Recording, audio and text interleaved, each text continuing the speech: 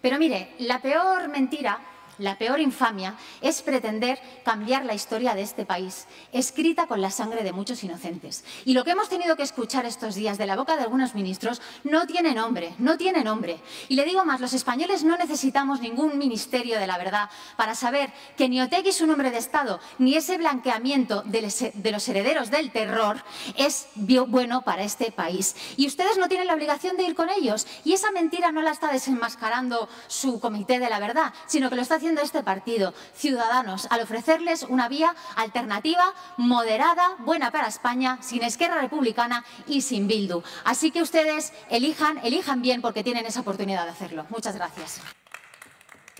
Gracias, señoría.